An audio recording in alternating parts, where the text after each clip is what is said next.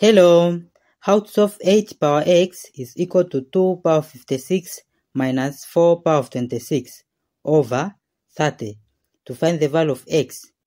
So, from 8 is same as 2 power 3, then bracket power of x is equal to this 2 power 56, then minus 4 is same as 2 power of 2, then bracket power of 26 6 then over 30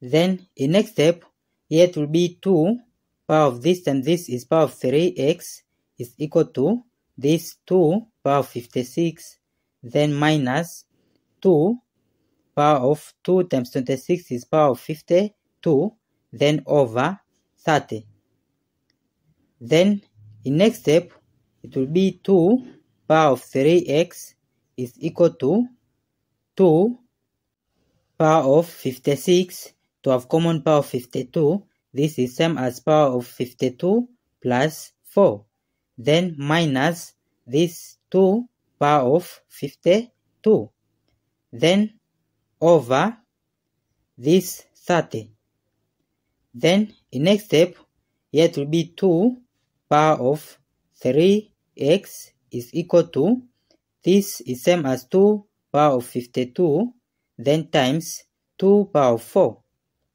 then minus this 2 power of 52 then over 30 then in next step here it will be 2 power of 3x is equal to in here 2 power of 52 is common so we take 2 power of 52 out of bracket then this divided by this is 2 power of 4 then minus this divided by this is 1 bracket then over this 30 then in next step we have to be 2 power of 3x is equal to this 2 power of 52 then times 2 power 4 is same as 16 16 minus 1 is 15. Then over 30 is same as 15 times 2. Then in next step, to simplify this 15 will cancel with this 15. So it will be this 2 power of 3x is equal to, in here 2 is same as 2 power of 1. Then from 2 power of 52 over 2 power of 1, they have common base of 2. So in here to be 2 power of 52 then minus power of 1 then here to be 2 power of 3x is equal to 2 power of 52 minus 1 is 51 then because we have same base of 2 so we'll compare the powers.